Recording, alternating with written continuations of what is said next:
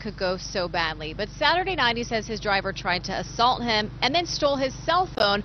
But thanks to security cameras that he had installed just the day before, he has proof of this bizarre encounter.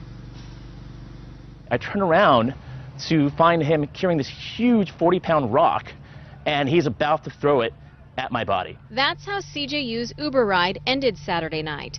He says he left his lot cell phone in an Uber driver's car earlier in the day, and when he realized it was missing, he contacted the driver who agreed to bring him the phone for a cash reward. They met at Baja Cantina in Marina del Rey. So I was ready to go home already. So I said, "Hey, you're already here. Um, why don't I? Why don't I just use you as, as my Uber? I'll just try to select you on the ride." The driver took CJ home to Leimert Park, where they arrived just before 8 p.m. That's when CJ thanked him for returning his phone by giving him $40. He instantly blew up. He became very aggravated and said, "I need more money than this. Like forty dollars is nothing. This phone is worth hundreds of dollars." CJ told the driver that was all the cash he had and got out of the car. I take about 15 steps, and I hear someone behind me. He's racing towards me until I turn